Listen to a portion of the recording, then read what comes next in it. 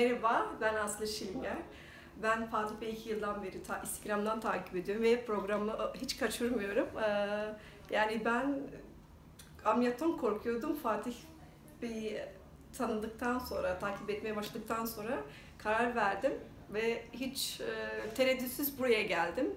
E, normalde benim ameliyatım ay sonuydu. Bir ay öncesine aldırdım. Hemen ameliyatım olmak istedim. Çok da iyi oldu. Yani böyle çok ağrısızı söylendiği gibi kesinlikle olmadı. Evet ameliyattan çıktıktan bir iki saat sonra ağrım oldu.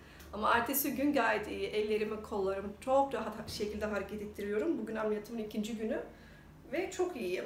Yani Ne- bütün gün de çarşıdaydım. Ne ameliyatı yaptık? Meme protezi ameliyatı yaptık ve çok çok rahatım şu anda yani. Ee, bütün gün ve çarşıyı dolaştım. Onu diyebilirim. Çok teşekkür ederim sağ olun.